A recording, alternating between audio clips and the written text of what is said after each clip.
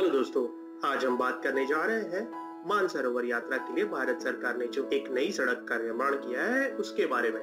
तो हम इस वीडियो में देखेंगे कि यह सड़क कहाँ से होकर जाने वाली है, क्या विशेषताएँ है इस सड़क की, और भारत को इससे क्या फ़ायदा हो सकता है। हम यह भी जानेंगे कि इस सड़क का विरोध नेपाल क्यों कर रहा है, और इस नेपाल के विरोध के ऊपर भारत ने क्या कहा है। तो वीडियो अंत तक ज़रूर देखें। भारत सरकार ने इस सड़क के निर्माण की ज़िम्मेदारी बीआरओ के कंधों के ऊपर रखी हुई थी। इसके पीछे का कारण है मानसरोवर की लोकेशन मानसरोवर चीन देश में आता है, जिससे यात्रियों को बॉर्डर क्रॉस करके चीन में जाना पड़ता है। इस यात्रा की दूसरी एक खास बात है कि मानसरोवर के पास ही कैलाश पर्वत आता है, जो बुद्धिस्ट, जैन और हिंदू लोगों में बहुत ही पवित्र माना जाता है।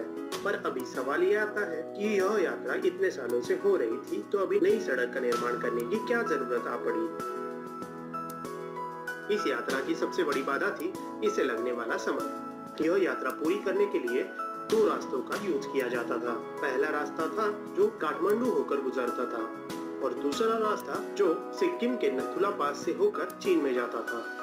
और आपको मैप में देख के पता चल ही गया होगा कि इतना लंबा रूट लेने के कारण ही इस यात्रा को पूरा करने के लिए कम से कम पाँच दिनों का समय लगता था।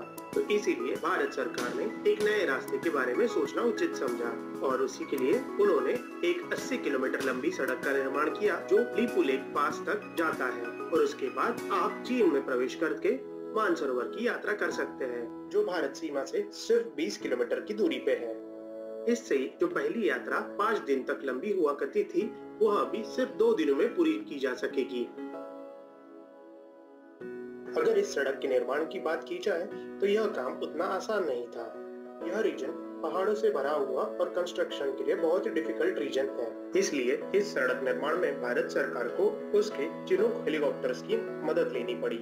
इन हेलीकॉप्टर्स की सहायता से ही रोड कंस्ट्रक्शन का सारा कामान और मशीनरीज को ज़रूरत वाली जगहों पे ले जाया गया।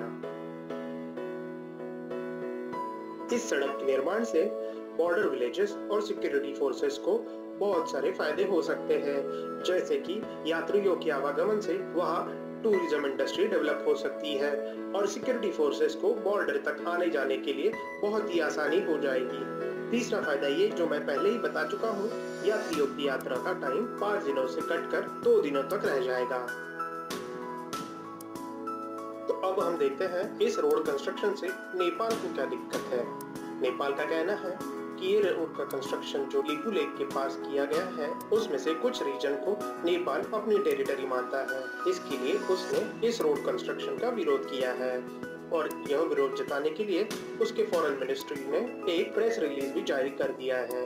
उसकी वजह से अभी काठमांडू में इसके खिलाफ प्रदर्शन भी होने लग गए हैं।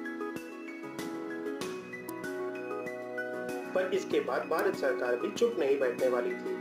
उसने भी नेपाल के क्लेम को रिजेक्ट कर दिया।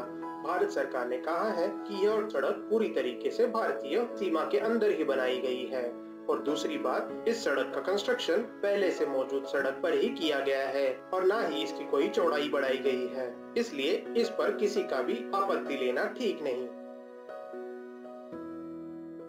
आपको क्या लगता है कि यह रोड कंस्ट्रक्शन सच में फ़ायदेमंद हो पाएगी या नहीं? हमें यह कमेंट करके ज़रूर बताएँ। ऐसे ही वीडियोस देखने के लिए शेयर और सब्सक्राइब करना ना भूलें।